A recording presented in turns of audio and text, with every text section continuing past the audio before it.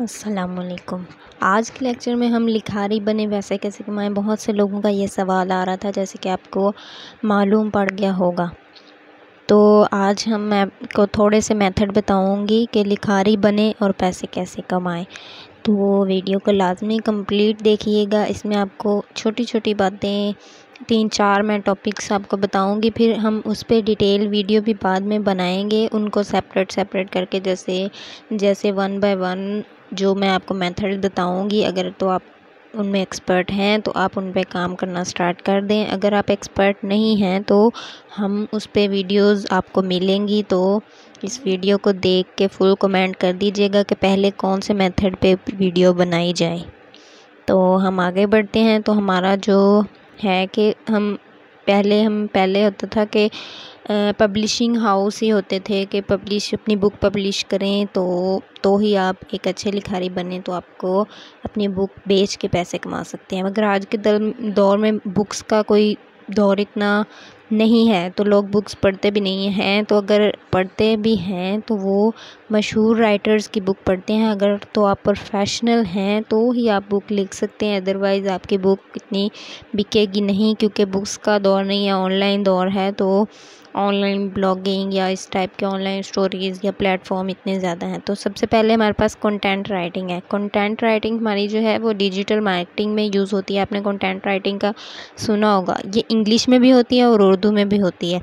उर्दू में इसलिए बता रही हूँ कि उर्दू में जैसे कंटेंट राइटिंग में रिव्यूज़ लिखना और प्रोडक्ट्स के आपने रिव्यूज़ देने होते हैं, उसकी अगर किसकी, किसी कंपनी का प्रोडक्ट है, वो आपसे कंटेंट राइटिंग करवाएँगे कि हमारी कंपनी के प्रोडक्ट की खसूसियात लिखवाएँ तो ज़ाहिर है उन्हें एक प्रोफेशनल बंदा चाहिए हो। तो ये सारी आप एक लिखारी के तौर पे फ्रीलांसर फ्रीलांसिंग अपनी जो है लिखने का है कंटेंट राइटिंग है या जो भी आपकी सलाहियत हैं, आप फ्रीलांसिंग के ज़रिए सेल आउट कर सकते हैं। तो कंटेंट राइटिंग पे भी हम एक वीडियोस बना के अपलोड करेंगे। अगर आप इंटरेस्टेड हैं कि कंटेंट राइटिंग पे कंटेंट बनाया जाए तो बता दें। इसके बाद हमारा है कि तख्लीकी मवाद लिखना, जैसे कि कहानियाँ नावल और कॉलम वगैरह तो मुख्तलि वेबसाइट्स हैं, आपने वेबसाइट्स ढूंढनी हैं उनके लिए और उनका सैंपल चेक करना है कि वो आपसे कौन सा काम करवाना चाहते हैं। तो ही आप तख्लीकी मवाद या जो भी उन कंपनीज़ के लिए फ्रीलांसिंग कर सकते हैं। अगर आपका अगर आपका पोर्टफोलियो इतना बेस्ट है कि आप, आपका पोर्टफोलियो देखते हुए कि अगला बंदा आपको हायर कर ले, ज़ाहिर है जिसने पैसे देने हैं वो आपको हायर क्यों करे? तो आप अपना पोर्टफोलियो इतना ज़बरदस्त बना के रखें कि वेबसाइट्स वाला या कंपनीज़ वाला, मुख्तलिफ़ कंपनियों में इश्तहारात लिखवाने होते हैं, कहानियों की सूरत में जैसे आजकल टीवी पे इश्तहारात देखते हैं, ऐसे हर कंपनी अपना इश्तहार बनवाती है तो वो आपसे क्यों बनवाएँ? तो इसके लिए आपका पोर्टफोलियो अच्छा होना चाहिए। इसके बाद हम ब्लॉग पे जाएँगे तो ब्लॉग या कॉलम लिखने से आप अच्छी अर्निंग कैसे कर सकते हैं?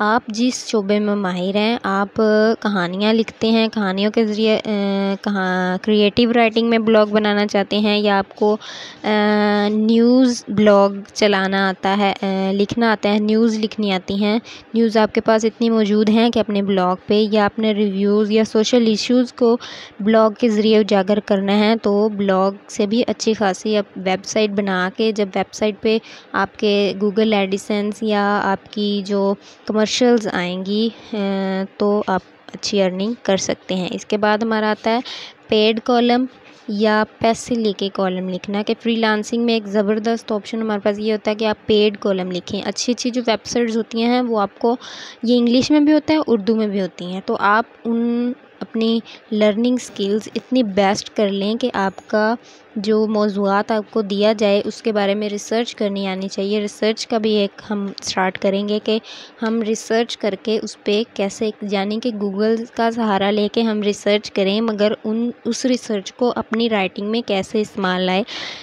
करें ताकि प्लेजरिज़म का ख़तरा ना हो।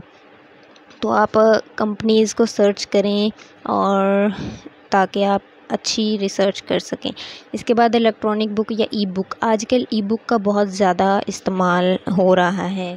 कि जैसे आपको बताया शुरू में कि दूसरी बुक्स इतनी इन नहीं रही तो ई बुक्स क्योंकि टेक्नोलॉजी का दौर है तो लोग अपने फ़ोन में कंप्यूटर में जल्दी से डाउनलोड करके बुक्स पढ़ना करते हैं। तो अगर आप वेबसाइट अपनी बना लें, उस पर अपनी ई बुक्स अपलोड करें, या अमेज़ोन या इस तरह की और बहुत सी वेबसाइट्स हैं अगर आप बुक लिख सकते हैं तो आप अपनी ई बुक फ़रोख्त कर सकते हैं। तो बता दें जिस मौजू पे आपने करना है तो हम वो वाला कोर्स पहले स्टार्ट करेंगे।